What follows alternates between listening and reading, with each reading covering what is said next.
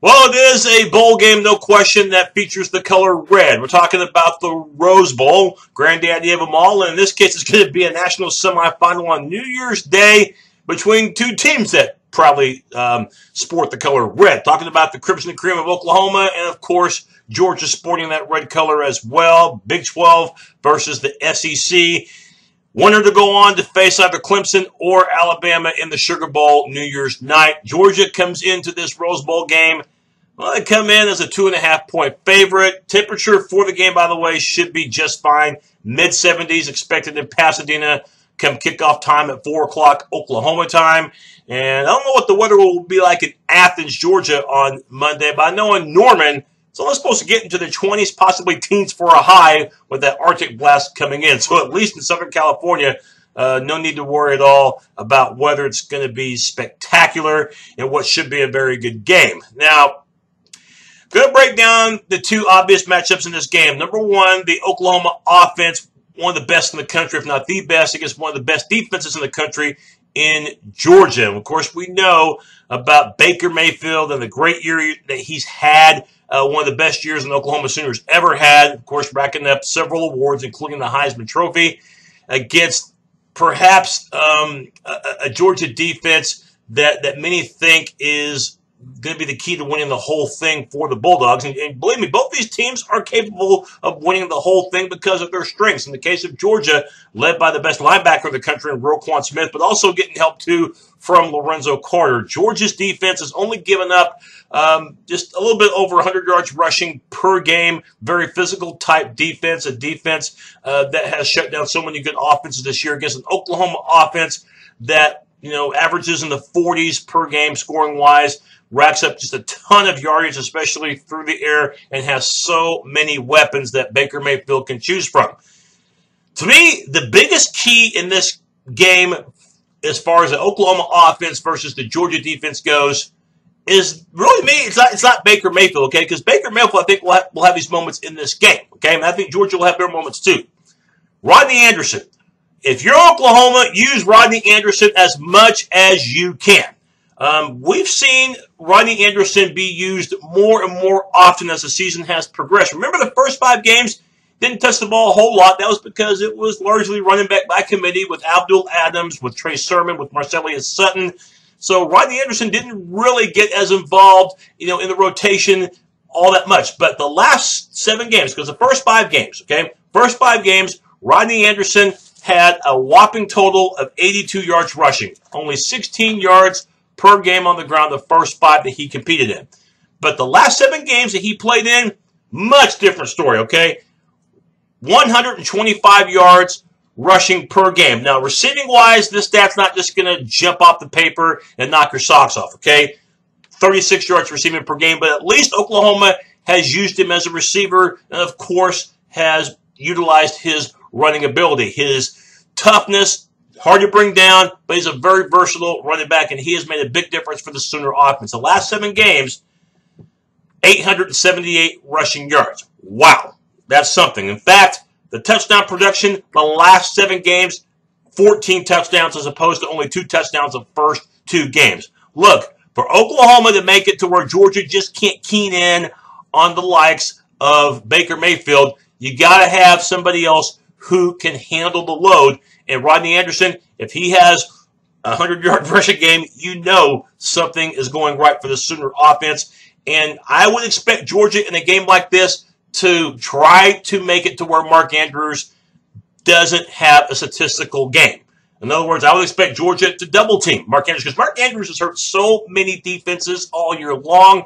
I think Georgia will do everything they can to make Mark Andrews again, not appear so much on the stat sheet. It doesn't mean, though, that Mark Andrews can't become a factor. Why, you ask? Because if Georgia is focusing a lot on Andrews, that again will allow Baker Mayfield, if given time to throw against a terrific front seven in Georgia, to dissect that Bulldog defense. Remember, the Sooners have had big playability all year long with Hollywood Brown, of course, with CeeDee Lamb, Jeff Badet, you know, with Mykel Jones if given enough time by the Oklahoma offensive line and also fullback Dimitri Flowers to block, I think Baker Mayfield will have a very successful game. But again, you have to have another weapon to constantly make Georgia wonder, to make them put focus on other players. And Rodney Anderson is that type of player that we've seen the second half of the season that has made Oklahoma's offense even better than it was during the first half of the campaign. So that's something to look at. If Rodney Anderson does not get going on, I know you got other running backs who are capable of having nice games, but to me, Rodney Anderson is the best of the bunch, and that will keep Oklahoma two dimensional and allow Oklahoma offensively to have control of the ball. All right, another juicy matchup. The Sooner defense against the Georgia offense that will just provide a steady diet of runs. 260 yards plus per game is what they average on the ground. We know about Nick Chubb, almost 1,200 yards rushing this season, 5.9 yards per carry. We also know, too, about Sony Michel, about 1,000 yards rushing, 6.9 yards per carry. And don't forget about the third of the three-headed monster, D'Andre Swift, 7.9 yards per carry. Wow, that is a load with a capital L, huh? um, Georgia is so effective at being able to wear defenses down and keep the chains moving. Remember, Georgia is one of the best teams in the country on third down conversions as well because they set themselves up with third and short quite a bit. About 50% of the time, Georgia converts on third down. That's another fat statistic right there in the column of UGA. So, what can you do if you're Oklahoma? Well, I really want to see which Oklahoma defense shows up first of all, okay, before we talk about anything else. Because remember the first three games of the season, one of them being against Ohio State and Columbus, the Sooners fared well. 4.3 yards per carry, as well as only 13 points per game given up in that first three game stretch. But the next seven game cycle was a disaster. Almost seven yards per carry is what they allowed, and 33 points per game. But the last three games, granted, one was against Kansas, but the other two were against West Virginia and TCU, good offenses. The Sooners got a little bit of that swagger back. 4.7 is what they allowed per game, and 17 points per game in that three game stretch. So you know that Oklahoma can do it. Um, now, specifically, what can Oklahoma do? I, will tell you the most obvious thing uh, for, for, this team, especially with Beal, Kelly, and Obo, the linebackers, are going to have their hands full against that Georgia ball control offense. Wrap up after first contact, okay? And here's a prime example. The last game Oklahoma played was the Big 12 title game against TCU, as you might remember, okay? Remember the second quarter of that game when Oklahoma was up 17 nothing and seemingly in control? TCU scored a couple of touchdowns, largely in part because the Sooners did a poor job of wrapping up after first contact. In other words, they were getting to the ball carrier, but they weren't finishing plays. They weren't tackling and that led to additional yardage by TCU, and the Horned Frogs, for a brief time, got back into the game, trailing 17 to 14, largely because the Sooners did not wrap up after first contact. You don't do that against Georgia, the Bulldogs won't just get big gains; they might get home run runs by the likes of Chubb and by the likes of Michel and possibly Swift as well. The big thing in a game like this, make Georgia rely more on the pass.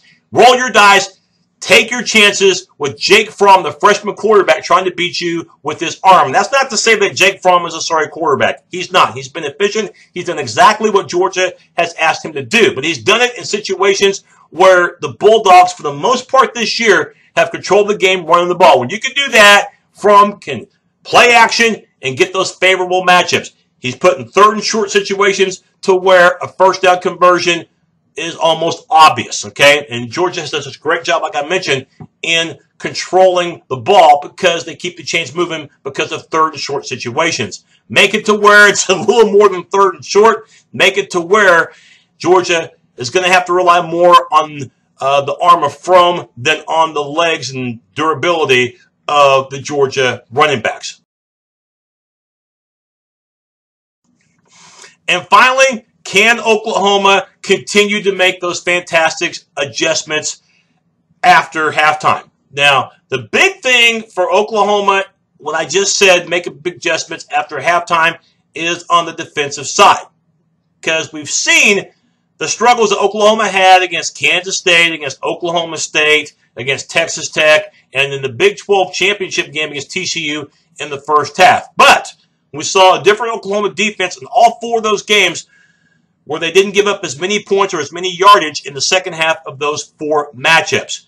I'm convinced that at halftime of this game, the issue is not going to be decided yet.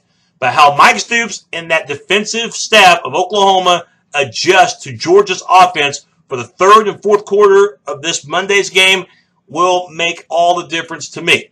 They've done a good job, like I said, in making adjustments. We'll see if that trend can continue.